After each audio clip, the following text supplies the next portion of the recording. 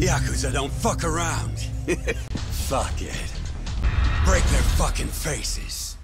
Keep the fucking pressure on this shithead. They're so fucking dead!